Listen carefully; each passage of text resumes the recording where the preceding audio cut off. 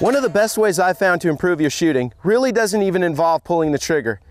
It's properly exiting and entering shooting positions. On today's pro tip, I'm going to show you some championship winning methods to improve your movement.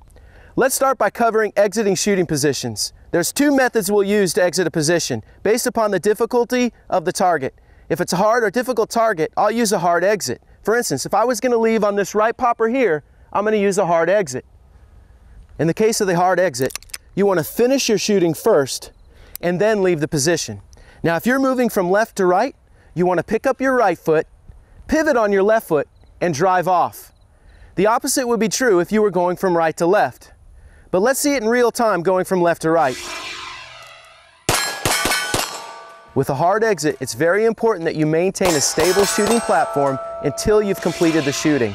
Notice that my feet are not moving until I've broken the last shot. The second method to leaving a shooting position is the easy exit. I do this when I have a much larger target to fire my final shots on. With this method, I'm going to begin leaving as I fire my last shots from the position. With the easy exit method, I'm going to be firing my final shots as I leave the position. The way I'm going to do this is I'm going to plant my right foot and cross over with my left foot. When using the easy exit, make sure that you fire your final shot before your foot touches down outside the box.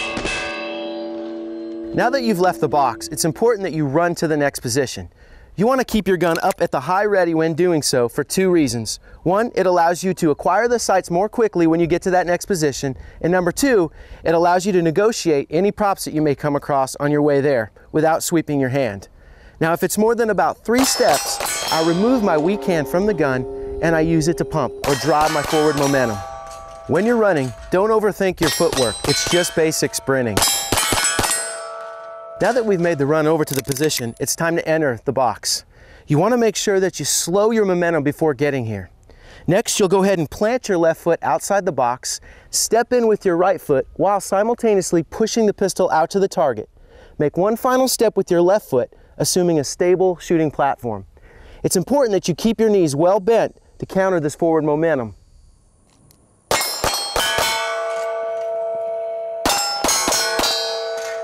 One thing important to note about entering this box is you're clear to engage the targets as soon as your foot leaves the ground. It doesn't necessarily have to be inside the box.